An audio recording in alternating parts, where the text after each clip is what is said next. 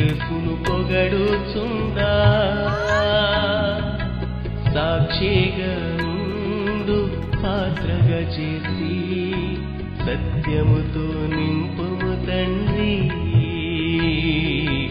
సత్యముతో నింపుము తండ్రి. మరోసారి ప్రేమ సందేశం కార్యక్రమాన్ని వీక్షిస్తున్న మీ అందరికీ ప్రభు యేసుక్రీస్తు నామములో శుభాకాంక్షలు తెలియజేస్తా ఉన్నాం. పోయిన వారం మనం యాకోబు గురించి ధ్యానం చేయటం మొదలుపెట్టాం. యాకోబు యొక్క నిబంధన యాకోబు యొక్క నిజస్థితి యాకోబు యొక్క నిచ్చెన గురించి మనం చూసాం యాకోబు తన తండ్రి అయినటువంటి ఇస్సాకు ఇంటి నుండి పారిపోయి వెళ్ళేటప్పుడు దేవుడు ఆయనకు ఒక దర్శనాన్ని అనుగ్రహించాడు. ఆ దర్శనములో దేవుడు ఆయనకి ఒక నిచ్చెనను చూపించాడు. ఆ నిచ్చెన పరలోకము నుండి భూలోకానికి వేయబడింది.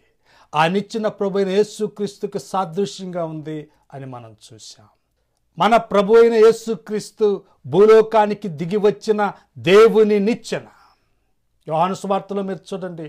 మూడో అధ్యాయంలో యేసు ప్రభు ఏమంటా ఉన్నాడంటే మరియు పరలోకము నుండి దిగి వచ్చిన వాడే అనగా పరలోకములో ఉండు మనుష్య కుమారుడే తప్ప పరలోకమునకు ఎక్కిపోయిన వాడెవడునో లేడు అని ఆయన అంటా ఉన్నాడు.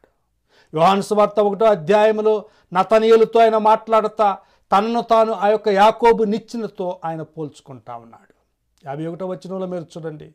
మరియు ఆయన మీరు ఆకాశము తెరవబడుటయు దేవుని దూతలు మనుష్య కుమారుని పైగా ఎక్కుటయును దిగుటయును చూతురని మీతో నిశ్చయముగా చెప్పుచున్నాను అంటా ఉన్నాడు. ఆ నిచ్చెన పరలోకాన్ని భూలోకాన్ని కలిపినట్లుగా యేసు ప్రభువు దేవునికి మనిషికి మధ్య మధ్యవర్తిగా పరలోకాన్ని భూలోకాన్ని కలుపుతా ఉన్నాడు. ఒకటో తిమోతి రెండు ఐదులో మనం చదువుతాం. దేవుడొక్కడే దేవునికిని నరులకును మధ్యవర్తియు ఒక్కడే ఆయన క్రీస్తు యేస్సను నరుడు ఈయన అందరి కొరకు విమోచన క్రయదనముగా తన్ను తానే సమర్పించుకొనెను. దేవుడు యాకోబుకు ఒక నిచ్చెన వేసి తన నిబంధనను స్థిరపరచటం ఇక్కడ మనం చూస్తా ఉన్నాం. ప్రభుైన యేసు క్రీస్తు అనే నిచ్చెన వేసి దేవుడు మనతో కూడా ఒక శ్రేష్టమైన నిబంధనను స్థిరపరుస్తూ ఉన్నాడు. ఈయన అయితే ఇప్పుడు మరి ఎక్కువైన వాగ్దానములను బట్టి నియమింపబడిన మరి ఎక్కువైన నిబంధనకు మధ్యవర్తి అయి ఉన్నాడు అని హెబ్రిలకు రాసిన పత్రిక ఎనిమిది ఆరులో మనం చదువుతాం. దేవుడు ఆ నిచ్చెన చూపించి యాకోబుతో ఏమంటా ఉన్నాడంటే ఆది కాండం ఇరవై ఎనిమిది పదమూడులో మీరు చూడండి నీవు పండుకొని ఉన్న ఈ భూమిని నీకును నీ సంతానమునకును ఇచ్చేదను. అదేవిధంగా క్రీస్తు అనే నిచ్చెన వేసి దేవుడు నిత్యమైన స్వాస్థ్యాన్ని మనకు అనుగ్రహిస్తా ఉన్నాడు. ఎబ్రిలకు రాసిన పత్రిక తొమ్మిది పదిహేనులో మనం చదువుతాం. మొదటి నిబంధన కాలములో జరిగిన అపరాధముల నుండి విమోచనము కలుగుటకై ఆయన మరణము పొందినందున పిలువబడిన వారు నిత్యమైన స్వాస్థ్యమును గుచ్చిన వాగ్దానమును పొందు నిమిత్తము ఆయన కొత్త నిబంధనకు మధ్యవర్తి అయ్యున్నాడు యేసుక్రీస్తు అనే నిచ్చెన వేసి దేవుడు మనల్ని నరకములో నుండి రక్షించాడు. యేసుక్రీస్తు అనేటటువంటి నిచ్చెన వేసి దేవుడు మనకు ఒక నిత్యమైన స్వాస్థ్యాన్ని అనుగ్రహించాడు. యేసుక్రీస్తు అనేటటువంటి నిచ్చెన వేసి దేవుడు మనకు తనతో సహవాసాన్ని అనుగ్రహించాడు. యేసుక్రీస్తు అనేటటువంటి నిచ్చెన వేసి దేవుడు మనకు దేవదూతల పరిచర్యను అనుగ్రహించాడు. యేసుక్రీస్తు అనేటటువంటి నిచ్చెన వేసి దేవుడు మనము పరలోకానికి వెళ్ళగలిగేటటువంటి మార్గాన్ని వేశాడు. ఈ యొక్క నిచ్చెన దగ్గర రెండు విషయాలు మనకు కనిపిస్తూ ఉన్నాయి. మొట్టమొదటిగా మనిషి యొక్క నిస్సహాయత. రెండవదిగా దేవుని యొక్క కృప. ఇక్కడ మనకి మనిషి యొక్క నిస్సహాయత కనిపిస్తూ ఉంది.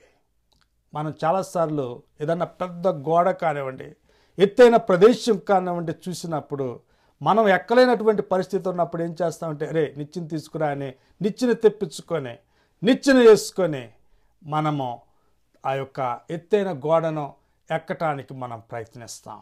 రోమపత్రిక మూడు ఇరవై మూడులో మనం చదువుతాం ఏ భేదమును లేదు అందరినో పాపము చేసి దేవుడు అనుగ్రహించు మహిమను పొందలేకపోతున్నారు క్రీస్తు అనే నిచ్చెన లేకుండా దేవుని మహిమ దేవుని పరిశుద్ధత అనే గోడలు ఎక్కటం మనకు సాధ్యం కాదు. కాబట్టి ఇక్కడ మనిషి యొక్క నిస్సహాయత కనిపిస్తూ ఉంది.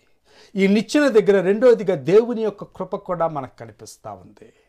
దేవుడు యాకోబు నిద్రపోయే సమయంలో దిగి వచ్చాడు. నిద్ర అనేది అత్యంత నిస్సహాయమైనటువంటి పరిస్థితి. అందుకనే బైబిల్ గ్రంథంలో నిద్ర అనేది మరణానికి సాదృశ్యంగా మనం చూస్తూ ఉంటాం.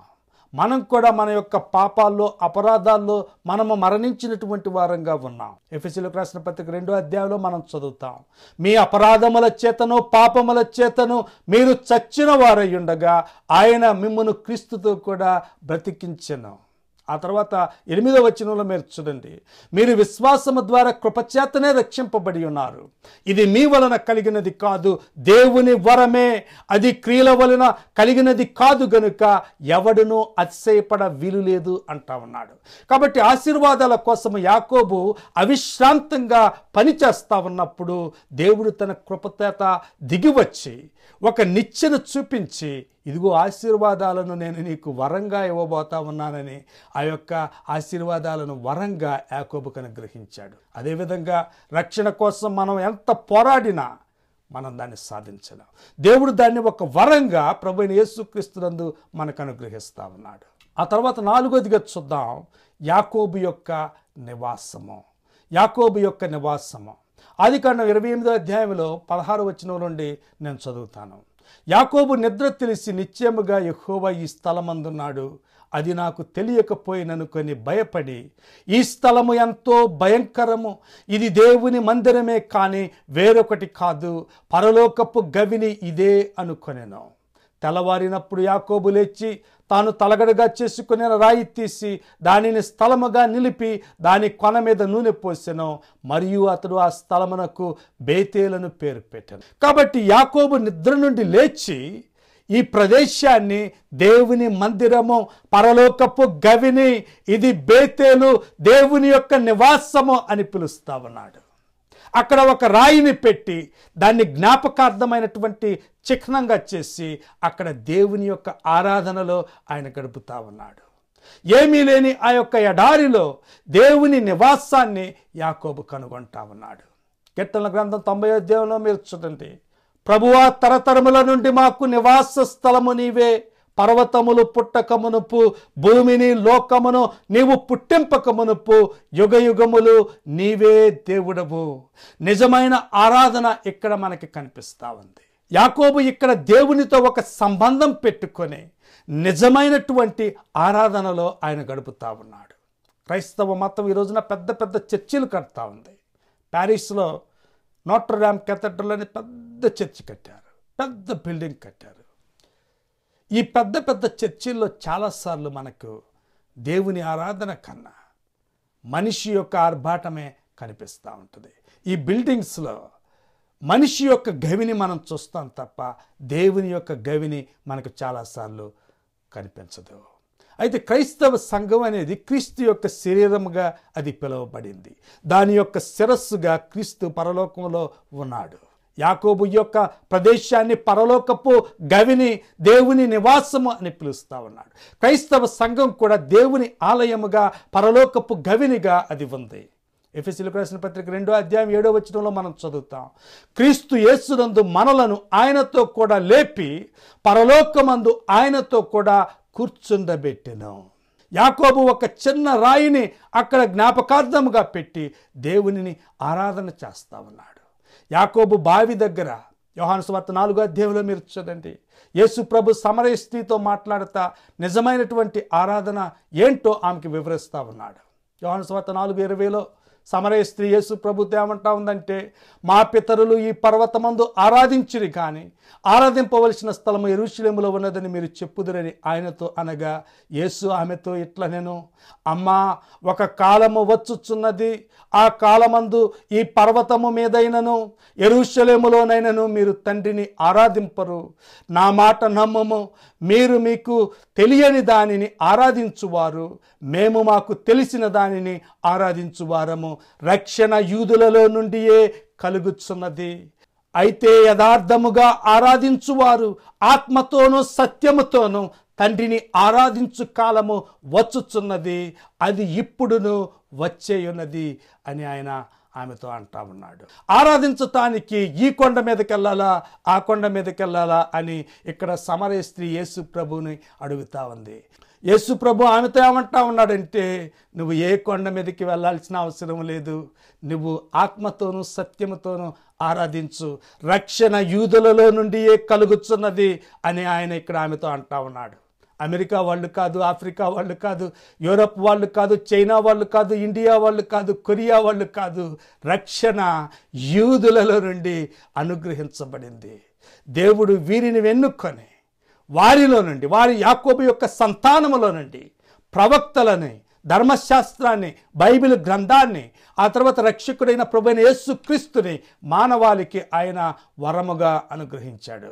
ఆ తర్వాత యేసు ప్రభు ఏమంటా ఉన్నాడంటే యథార్థముగా ఆరాధించువారు ఆత్మతోనూ సత్యముతోనూ తండ్రిని ఆరాధించు కాలము వచ్చుచున్నది. యేసు ప్రభు పెద్ద పెద్ద బిల్డింగులు దేవుడు లేనటువంటి దేవుని సన్నిధి లేనటువంటి మనుషుల యొక్క వేషధారణ ఆర్భాటాలతో కూడినటువంటి పెద్ద పెద్ద ఆలయాల చేత ఆయన ఆకర్షించబడలేదు. క్రీస్తు శకం డెబ్బై సంవత్సరంలో రోమన్ జనరల్స్ ఆ యొక్క ఎరుషులేమ ఆలయాన్ని ధ్వంసం చేసి నాశనం చేసినప్పుడు దాని యొక్క రాళ్ళన్నీ కూడా అన్ని వైపులా చెదిరిపోయినాయి. పోయినసారి నేను ఎరుషులేంలో ఉన్నప్పుడు ఆ యొక్క రాళ్ళ దగ్గర కొంతసేపు గడిపాను. ప్రజలు ఇప్పుడు వెళ్ళి ఆ యొక్క రాళ్ళ దగ్గర దేవుణ్ణి ఆరాధిస్తూ ఉన్నారు. దేవుని సన్నిధి లేని పెద్ద పెద్ద ఆలయాల కన్నా దేవుని సన్నిధి ఉన్న చిన్న రాయి మేలు యాకోబు కూడా ఒక చిన్న రాయి తీసుకొని దేవుని యొక్క సన్నిధిని అక్కడ కనుగొని నిజమైనటువంటి ఆరాధన చేస్తా ఉన్నాడు. ఐదవదిగా యాకోబు యొక్క నిబద్ధత. యాకోబు చివరికి తన మామ అయినటువంటి లాభాను ఇంటికి చేరాడు. ఆ లాభాను ఇంట్లో యాకోబు పని చేయటం మొదలుపెట్టాడు. చాలా కష్టపడి పని చేయటం మొదలుపెట్టాడు. లాభాను గారి కుమార్తె రాహేలు మీద మనవాడి కన్ను పడింది. లాభాను దగ్గరికి వెళ్ళి తన మనసులో మాట చెప్పాడు. అయితే లాభాను దేన్ని ఉరికినే పోనిచ్చే రకం కాదు. మనుషుల్ని తన స్వార్థం కోసం వాడుకోవటంలో లాభాను యాకోబు కన్నా నాలుగు ఆకులు ఎక్కువే చదివాడు. అందుకని లాభాను ఏమంటా ఉన్నాడంటే యాకోబును ఒక పని చేయి నీకు నా కూతుర్ని ఇవ్వాలంటే ఏడు సంవత్సరాలు ఆమె కోసం నాకు ఫ్రీగా పనిచేసి పెట్టు అని అడిగాడు. యాకోబు నో అనకుండా మామయ్య రాహేలు కోసం ఏడు సంవత్సరాలు నేను పనిచేస్తానని ఒప్పుకున్నాడు. యాకోబులో మనం నిజమైనటువంటి ప్రేమికుణ్ణి చూస్తా ఉన్నాం. కట్నాల కోసము ఆడపిల్లల్ని ఏడిపించుకు తినే మన సమాజము యాకోబుని చూసి నేర్చుకోవలసింది ఎంతో ఉంది? ఆదికాండం ఇరవై తొమ్మిది ఇరవైలో చూడండి. యాకోబు రాహేలు కోసము ఏడు సంవత్సరములు కొలువు చేసెను అయినను అతడు ఆమెను ప్రేమించుట వలన అవి అతనికి కొద్ది దినములుగా తోచెను. యాకోబు రాహేల్ను ఎంతగా ప్రేమించాడంటే ఏడు సంవత్సరాల పాటు ఆమె కోసం కష్టపడతా ఉన్నాడు. అయితే ఆ ఏడు సంవత్సరాలు ఏడు రోజుల్లాగా ఆయనకు కనిపిస్తూ ఉన్నాయి.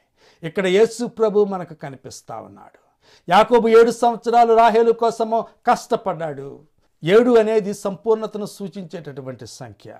కాబట్టి రాహేలు కోసం యాకోబు సంపూర్ణముగా కష్టపడ్డాడు. రాహేలు మీద ప్రేమతో ఎండ దెబ్బ వాన దెబ్బ చలి దెబ్బ అవమానాలు అనుమానాలు చేదరింపులు ఇవన్నీ యాకోబు ఓర్చుకున్నాడు.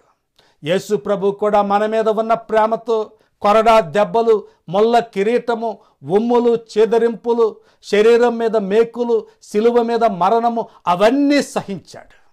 మొత్తం మీద యాకోబు లాభానింటిలో ఇరవై సంవత్సరాలు కష్టపడి పనిచేశాడు. ఆయన యొక్క నిబద్ధత ఇక్కడ మనకు కనిపిస్తూ ఉంది. పద్నాలుగు సంవత్సరాల పాటు భార్యల కోసం పనిచేశాడు. ఆ తర్వాత ఆరు సంవత్సరాల పాటు తన యొక్క మంద కోసం పనిచేశాడు. చివరికి దేవుడు ఆయన్ని బాగా ఆశీర్వదించటం వల్ల ఆయన ఎంతో ధనవంతుడయ్యాడు. ఆరోదిగా యాకోబు యొక్క నిర్గమం. యాకోబు ఎంతో కష్టపడి పనిచేశాడు. ఎంతో సంపాదించుకున్నాడు. అది చూసి లాభాను యొక్క కుమారులకి కన్ను కుట్టింది. అది కన్నా ముప్పై ఒకటో అధ్యాయంలో మీరు చూడండి. ఒకటో వచనం నుండి నేను చదువుతాను. లాభాను కుమారులు మన తండ్రికి కలిగినది యావత్తును యాకోబు తీసుకొని మన తండ్రికి కలిగిన దాని వలన ఈ యావదాస్తి సంపాదించినని చెప్పుకునిన మాటలు యాకోబు వినెను. మరియు అతడు లాభాను ముఖము చూచినప్పుడు అది నిన్న మొన్న ఉండినట్లు అతని ఎడలా ఉండలేదు. లాభాను యొక్క కుమారులు యాకోబు గురించి చెడుగా మాట్లాడుకోవటం మొదలుపెట్టారు. ఈ యాకోబు చేతిలో చిల్లి గవ్వ లేకుండా మన ఇంటికి వచ్చినటువంటి వాడు ఇప్పుడు మనకన్నా ఎక్కువ సంపాదించుకున్నాడు వీడి జీవితమంతా మోసమే. సొంత అన్ననే మోసం చేసిన వాడికి మామనే బావమద్దుల్ని మోసం చేయటం ఒక లెక్క అని వారు ఆయన్ని సాధించటం మొదలుపెట్టారు. యాకోబు అవన్నీ వింటా ఉన్నాడు. లాభాను దగ్గరికి వెళ్తే లాభాను గారి ఫేస్ కూడా మారిపోయింది. హృదయంలో ఉండు దానిని బట్టి ఏ నోరు మాట్లాడును కదా అన్నాడు యేసు ప్రభు. అదేవిధంగా చాలాసార్లు మన హృదయంలో ఉండు దాన్ని బట్టి చాలాసార్లు మొహం మీద భావాలు ప్రతిఫలిస్తూ ఉంటాయి. లాభాను కూడా ఇప్పుడు ఫేస్ అదోలాగా పెట్టుకొని యాకోబుతో మాట్లాడుతూ ఉన్నాడు. యాకోబు ధైర్యంగా లాభాన్ దగ్గరికి వెళ్ళి నిలదీసి ఉండవలసింది. నువ్వెందుకు నీ ఫేస్ ఇలా పెట్టుకుంటా ఉన్నావు? మీ ఇంట్లో నేను ఉన్నాను. అయితే నేను ఎవరి దగ్గర మోసం చేసి తీసుకోలేదు. కష్టపడే పని చేశాను.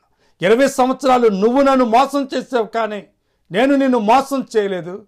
దేవుడు నన్ను ఆశీర్వదించడం వల్ల ఇవన్నీ నాకు కలిగినాయి తప్ప నేను నీ దగ్గర కాయ చేసింది ఏమీ లేదు అని ఆయన అని ఉండవలసింది. అయితే యాకోబు లాభాన్ని డైరెక్ట్గా అడిగేటటువంటి ధైర్యం చేయలేకపోయాడు. తన భార్యల దగ్గరికి వెళ్ళి తన గోడు వెళ్ళబుచ్చుకున్నాడు. యాకోబు భార్యలు ఏమంటా ఉన్నారంటే నీ పట్ల మా నాన్న ప్రవర్తన ఏమాత్రం బాగాలేదు. మాకంతా అర్థమవుతానే ఉంది. అప్పుడు యాకోబు ఆలోచించటం మొదలుపెట్టాడు. రాహేలు ఆయన అడుగుతా ఉంది ఏంటి ఏంటి ఆలోచిస్తా ఉన్నావు? యాకోబు ఏమంటా ఉన్నాడంటే ఇక్కడ నుండి పారిపోతే ఎలా ఉంటుంది? మరో భార్య లేయ ఏమని అడుగుతా ఉందంటే పారిపోవటం నీకు అలవాటే కదా. అయితే ఇక్కడ నుండి ఎక్కడికి పారిపోతావు? మీ నాన్న ఇంట్లో నుండి పారిపోయి ఇక్కడికి వచ్చావు. ఇక్కడ నుండి ఎక్కడికి పారిపోతావు? అని ఆమె ఆయన అడుగుతా ఉంది. ఏ సమస్య వచ్చినా యాకోబుకు ముందుగా తోచేది ఏంటంటే పారిపోతే ఎలా ఉంటుంది? తన సమస్య నుండి పారిపోవటం అలవాటుగా చేసుకున్నాడు.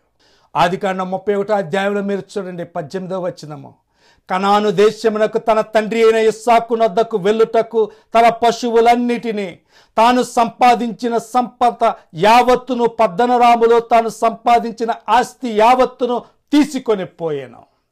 యాకోబు జీవితం ఎలా ఉందో ఇక్కడ మనకు కనిపిస్తూ ఉంది. ఇరవై సంవత్సరాల క్రితము తండ్రి ఇంటిలో నుండి మామ ఇంటికి పారిపోయాడు. ఇప్పుడు మామ ఇంటిలో నుండి తండ్రి ఇంటికి పారిపోతా ఉన్నాడు. ఏడవదిగా యాకోబు యొక్క నిస్సత్వ. యాకోబు తండ్రి ఇంటికి పారిపోయేటప్పుడు ఇరవై సంవత్సరాల క్రితం ఏ భయం ఆయన్ని వెంటాడిందో ఇప్పుడు కూడా అదే భయం ఆయన వెంటాడుతూ ఉంది. అప్పుడు కూడా ఏసావు నా ప్రాణాలు తీస్తాడేమో అని భయపడ్డాడు. ఇప్పుడు కూడా ఏసావు నా ప్రాణాలు తీస్తాడేమో అని భయపడతా ఉన్నాడు. ఆది కాండ ముప్పై రెండో అధ్యాయంలో యాకోబు దేవునితో పోరాడటాన్ని మనం చూస్తా ఉన్నాం. ఇరవై నాలుగో వచ్చినలో మీరు చూడండి. యాకోబు ఒక్కడు మిగిలిపోయెను. ఒక నరుడు తెల్లవారు వరకు అతనితో పెనుగులాడెను. తాను అతని గెలువకుండుట చూచి తొడగూటి మీద అతనిని కొట్టెను. అప్పుడు అతడు ఆయనతో పెనుగులాడుట వలన యాకోబు తొడ గూడు వసిలెను. ఆయన తెల్లవారుచున్నది గనుక నన్ను పోనెమ్మనగా అతడు నీవు నన్ను ఆశీర్వదించితేనే కాని నిన్ను పోనీయను నేను ఆయన నీ పేరేమని అడుగగా అతడు యాకోబు అని చెప్పాను. అప్పుడు ఆయన నీవు దేవునితోనూ మనుష్యులతోనూ పోరాడి గెలిచితివి గనుక ఇక మీదట నీ పేరు ఇస్రాయేలే గాని యాకోబు అనబడదని చెప్పాను. అప్పుడు యాకోబు నీ పేరు దయచేసి తెలుపమనెను. అందుకు ఆయన నీవు ఎందు నిమిత్తము నా పేరు అడిగితువని చెప్పి అక్కడ అతనిని ఆశీర్వదించెను. యాకోబు నేను ముఖాముఖిగా దేవుని చూచి తిని అయినను నా ప్రాణము దక్కినదని ఆ స్థలమునకు పెనుయేలు అను పేరు పెట్టెను. అతడు పెనుయేలు నుండి సాగిపోయినప్పుడు సూర్యోదయం ఆయను. అప్పుడు అతడు తొడకుంటుచ్చు నడిచెను. ఆ రాత్రి వేళ యాకోబుతో దేవుడు పోరాటం చేస్తా ఉన్నాడు. దేవుడు యాకోబుని ఏమడుగుతా ఉన్నాడంటే నీ పేరు ఏమిటి? నీ పేరేంటి? ఇంతకుముందు పేరు అడగటం మనకు గుర్తే. ఇస్సాకు అడిగాడు నీ పేరేంటి? అన్నప్పుడు యాకోబు ఏమని చెప్పాడంటే నేను నాన్న ఏసావుని నీ పెద్ద కుమారుణ్ణి అని తండ్రితో అబద్ధం చెప్పాడు. ఇప్పుడు దేవుడు అడుగుతా ఉన్నాడు నీ పేరేంటి? అంటే దేవుడికి యాకోబు పేరు తెలియకని కాదు. ఇక్కడ దేవుడు యాకోబు యొక్క హృదయాన్ని శోధిస్తా ఉన్నాడు. నువ్వు ఎంతకాలమో నీ యొక్క పేరుకు తగ్గట్లుగా జీవిస్తావు. ఎంతకాలము నీ స్వంత ప్రణాళికలతో నువ్వు జీవిస్తావు. ఎంతకాలమో నువ్వు ఈ యొక్క బహుమానాలు కట్నాలు ఇచ్చి జీవిస్తావు. మీ నాన్నకి అబద్ధాలు చెప్పినట్లు నువ్వు నాకు చెప్పలేవు. నీ గురించి నాకంతా తెలుసు. నువ్వు మారు మనసు పొందితే నేను నిన్ను ఇక్కడ ఆశీర్వదిస్తాను. నీ పేరు ఇస్రాయేలుగా మారుస్తాను అని దేవుడు ఇక్కడ అంటా ఉన్నాడు. ఆ తర్వాత దేవుడు యాకోబు శరీరం మీద ఒక గాయం చేస్తా ఉన్నాడు. ఆ తర్వాత జీవితం అంతా కుంటుకుంటా వెళ్ళేటటువంటి పరిస్థితి యాకోబుకు కలగబోతా ఉంది. అయితే దేవుడు ఇక్కడ యాకోబుకి ఆ గాయంతో పాటు తన కృపను కూడా అనుగ్రహిస్తా ఉన్నాడు. రెండో కొరింది పన్నెండో అధ్యాయంలో అపుస్తులైన పౌలేమంటా ఉన్నాడంటే నాకు శరీరంలో ఒక ముళ్ళు దాని విషయమై ముమ్మారు ప్రభువును వేడుకొంటిని అందుకు నా కృప నీకు చాలును. బలహీనత ఎందు నా శక్తి పరిపూర్ణమగుచున్నదని దేవుడు అపోస్తలైన పౌలుతో అంటా ఉన్నాడు. అదేవిధంగా దేవుడు ఇక్కడ యాకోబు శరీరం మీద ఒక గాయం చేసి ఆ గాయములో తన యొక్క శక్తిని పరిపూర్ణం చేస్తా ఉన్నాడు. యాకోబుకు తన యొక్క కృపను అనుగ్రహిస్తా ఉన్నాడు. యాకోబు యొక్క తొడ మీద దేవుడు కొట్టాడు. ఆ గాయం చేసి దేవుడు యాకోబుని ఆయన యొక్క సంతానాన్ని ఆశీర్వదిస్తా ఉన్నాడు. ఇస్రాయేలీలను ఆశీర్వదించడానికి దేవుడు వారి తండ్రి అయినటువంటి యాకోబు మీద ఒక గాయాన్ని చేయవలసి వచ్చింది. అదేవిధంగా మనల్ని ఆశీర్వదించడానికి దేవుడు ప్రభు అయిన యేసుక్రీస్తు శరీరం మీద గాయాలు చేయవలసి వచ్చింది. యాకోబు యొక్క స్థలానికి పెనుయేలు అని పేరు పెడతా ఉన్నాడు. అంటే దేవుని యొక్క ముఖము దేవుని యొక్క ముఖాన్ని నేను చూశాను అని యాకోబు ఇక్కడ అంటా ఉన్నాడు. ఈరోజున మనం ప్రశ్నించవచ్చు. మనకు దేవుని ముఖము ఎక్కడ కనబడతా ఉంది? అపోస్తులైన పౌలు రెండో కొరిందీలకు రాసిన పత్రికలో ఏమని రాస్తా ఉన్నాడంటే నాలుగో అధ్యాయం నాలుగో వచనములో దేవుడు తన మహిమ యొక్క జ్ఞానమును గుర్చిన వెలుగును యేసుక్రీస్తు యొక్క ముఖములో మనకు చూపించను. కాబట్టి యేసుక్రీస్తు యొక్క ముఖములో దేవుని యొక్క మహిమ తేజస్సు మూర్తిమంతము మనకు కనిపిస్తా ఉన్నాయి. ఆయన ముఖము మన కొరకు నరావతారం పొందింది. ఆయన ముఖము రూపాంతరపు కొండ మీద సూర్యుని వలె ప్రకాశిస్తా ఉంది. ఆయన ముఖము మన కొరకు కన్నీరు కార్చింది. ఆయన ముఖము మన కొరకు రక్తాన్ని కార్చింది. ఆయన ముఖము మన కొరకు ఉమ్మివేయబడింది. ఆయన ముఖము మన కొరకు మొల్ల కిరీటాన్ని ధరించింది. యాకోబు దేవుని ముఖాన్ని ఆ రాత్రి అస్పష్టంగా చూస్తే మనకైతే క్రీస్తు యొక్క ముఖములో దేవుని రూపము స్పష్టంగా కనిపిస్తూ ఉంది. యోహాను సువార్త నాలుగో అధ్యాయంలో మీరు చూడండి. అక్కడ సమరయ స్త్రీ ఏమంటా ఉందంటే తానును తన కుమారులను పశువులను ఈ బావి నీళ్ళు త్రాగి మాకిచ్చిన మన తండ్రి అయిన యాకోబు కంటే నీవు గొప్పవాడివా? అని ఆయనను అడిగాను. కాబట్టి సమరయ స్త్రీ ఈ యొక్క యాకోబు బావి దగ్గర యేసు ప్రభుని అడుగుతా ఉంది మన తండ్రి అయిన యాకోబు కంటే నీవు గొప్పవాడివా? యేసు ప్రభువు యాకోబు కంటే గొప్పవాడు. ఎందుకంటే యాకోబు పేరాశ మోసాలతో నిండినటువంటి వాడైతే యేసు ప్రభువు కృపా సత్యాల చేత నిండినటువంటి వాడు. యాకోబు తండ్రి యొద్ద మారువేషం వేసి ఆశీర్వాదాలు దొంగిలించినటువంటి వాడైతే యేసు ప్రభు తండ్రి యొద్ద తనకు ఉన్న మహిమను స్వచ్ఛందంగా వదిలివేసి మన కొరకు దాసుని స్వరూపము ధరించుకొని శాపముగా చేయబడినటువంటి వాడు. యాకోబు తన తండ్రిని మోసం చేసిన వాడైతే యేసు ప్రభు తండ్రిని ఒక్క క్షణం కూడా బాధ పెట్టనటువంటి ప్రియకుమారుడిగా మనకు కనిపిస్తా ఉన్నాడు. యాకోబు తన ప్రాణాలు నిలుపుకోవటానికి తండ్రి ఇంటిని విడిచిపెట్టి పారిపోయిన వాడైతే ఈయన మన కొరకు తన ప్రాణాలను అర్పించటానికి తండ్రి ఇంటిని వదిలిపెట్టి వచ్చినటువంటి వాడు. యాకోబు తన యొక్క దర్శనంలో ఒక నిచ్చెన చూశాడు. అయితే ఈ యేసు ప్రభువు పరలోకానికి భూలోకానికి మధ్యవర్తిగా తానే ఒక నిచ్చెనగా మన దగ్గరికి వచ్చినటువంటి వాడు. యాకోబు తాను ప్రేమించినటువంటి రాహేలు కోసము ఏడు సంవత్సరాలు కష్టపడి పనిచేస్తే యేసు ప్రభు తాను ప్రేమించినటువంటి క్రైస్తవ సంఘం అనేటటువంటి వధువు కోసము తన ప్రాణాలనే అర్పించినటువంటి వాడు. యాకోబు చిల్లిగవ్వ లేకుండా తన తండ్రి అయినటువంటి ఇస్సాకు ఇంటిని వదిలిపెట్టి వస్తే యేసు ప్రభువు ఐశ్వర్యాన్నంతా తండ్రి యొద్ద వదిలివేసి మన కొరకు పేదవాడుగా మార్చబడినటువంటి వాడు. పాత నిబంధనలో యాకోబు అతని యొక్క సంతానము దేవుని యొక్క ముఖాన్ని చాలా అస్పష్టంగా చూస్తే యేసుక్రీస్తు ప్రభువులో ఎబ్రిలకు రాసిన పత్రికలో మనం చదువుతాము దేవుని మహిమ యొక్క తేజస్సును ఆయన తత్వము యొక్క మూర్తి మంతాన్ని మనము స్పష్టముగా చూస్తా ఉన్నాం. ఆ పెనుయేలు దగ్గర యాకోబు తన స్వంత ఆశీర్వాదాల కోసం పోరాడితే యేసుక్రీస్తు మన పక్షాన మన ఆశీర్వాదాల కోసము తండ్రితో పోరాడినటువంటి వాడుగా మనకు కనిపిస్తా ఉన్నాడు. ఆ పెనుయేలు దగ్గర యాకోబు తనకు గాయమైంది. ఇదిగో మన కోసము యేసు ప్రభువు అనేక గాయాలు పొందాడు. కాబట్టి మన తండ్రి అయిన యాకోబు కంటే నీవు గొప్పవాడవా అన్న సమరయ స్త్రీ ప్రశ్నకి సమాధానము ఏంటంటే ఖచ్చితంగా నిస్సందేహంగా ఈయన యాకోబు కంటే గొప్పవాడే. యాకోబు తన యొక్క దర్శనంలో పరలోకానికి భూలోకానికి వేయబడినటువంటి ఒక నిచ్చెన చూశాడు. ప్రభుని యేసుక్రీస్తు భూలోకానికి దిగి వచ్చిన దేవుని నిచ్చెన. ఆ నిచ్చెనను నువ్వు కనుగొన్నావా? అదే నేటి ప్రేమ సందేశం. థ్యాంక్ యూ వెరీ మచ్ లోకాశతో నిండి ఉప్పొంగుచు మార్గంబునే తప్పితి.